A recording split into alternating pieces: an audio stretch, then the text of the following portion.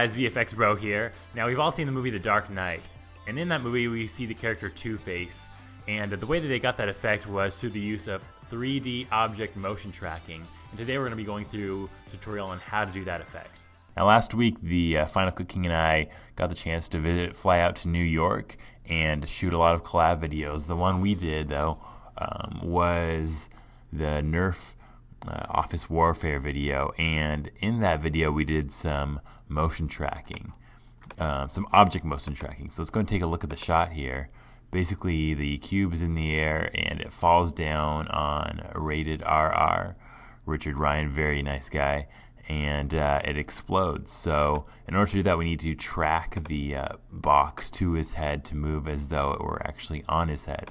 Now, if you don't have PF Track, you can get a free download the link will be in the description. But basically, we go to the pixelfarm.co.uk, just fill out a little form, and they'll send you a free trial.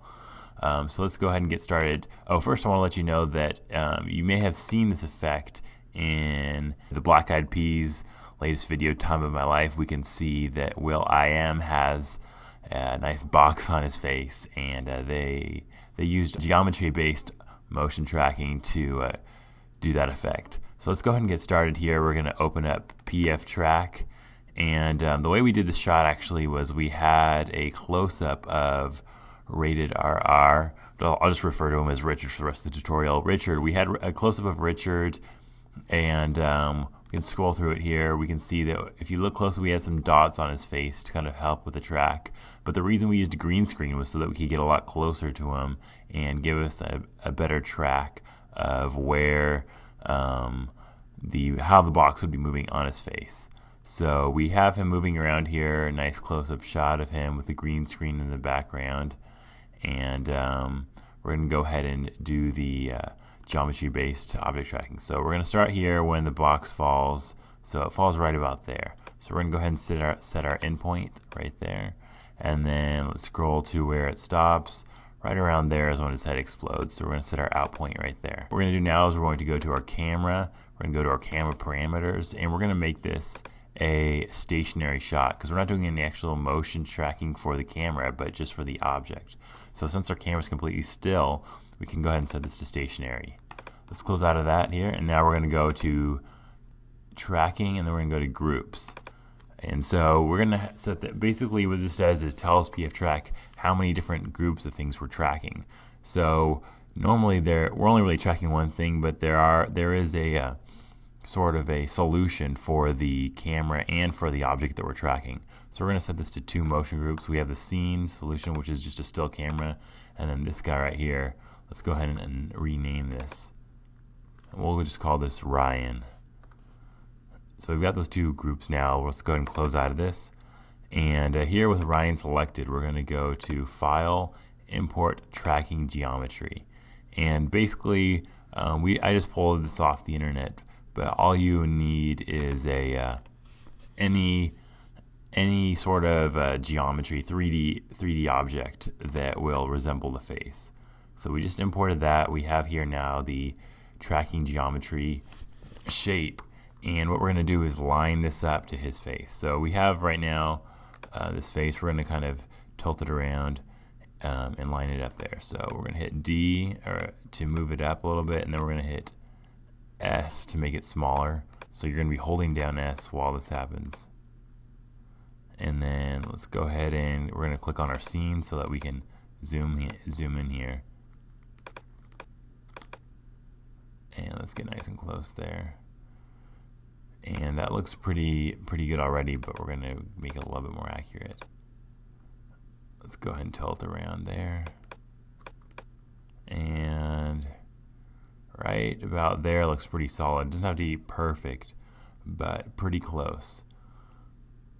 So now what we're going to do is we're going to go to our we're to go weights so what weights says is chooses what part of the tracking geometry we want to put the emphasis and take the emphasis off when we're tracking the face. So we're going to hit the W button here. So we're going to make the eyes less weighted just because there's a chance that he might blink.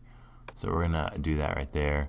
We're going to undo the mouth as well. And then also we can see here that the face is, the, the, um, the shape that we have is a little bit too big. So we're going to undo that right there. And uh, now we're gonna go ahead and get started. So all we have to do now is hit this button right here, track geometry forward. So let's go ahead and hit play. And uh, we can see that the face is tracking very nicely to Richard's face.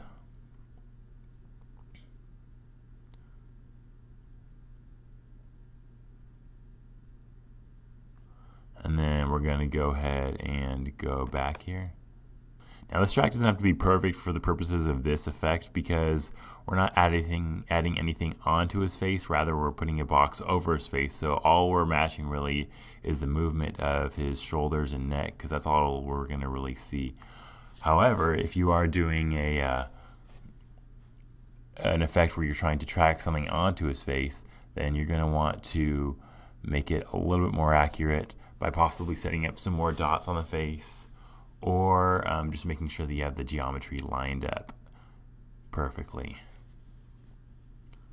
All right, so there we have the uh, the face has been lined up, and um, we have a fairly solid track here.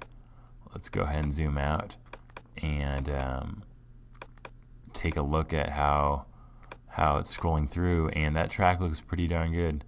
So what we're going to do here now is export this. So let's right click here over on our camera exports. We're going to go new and then we're going to send this out to any 3D program. I like to use Cinema 4D.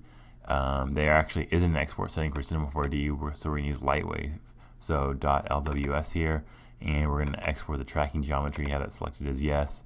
And then you can see here we have the camera export and the tracking geometry export. Um, so there we have it, and just hit OK.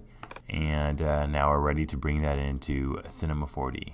Alright, so we're here in Cinema 4D. I'm just going to really quickly run over how we would import this. Um, we're going to select open with our the file that we saved. And our scale, we're going to leave it at 1, that's fine. And uh, we have it here now. If we take a look here, we have actually exported the tracking geometry out to the shot and you can see that when we started tracking it in the shot it moves around just like he his his face did. And uh, what we're going to do in order, the way that you're going to go about adding um, for example the box that we did in our case is you select the cube um, we're going to scale it so that it, it matches um, what we've got better. We're going to go to the top view here and we see where the face is. We're just going to move that down there and then move this up and what we do here is, let's scale this up a bit.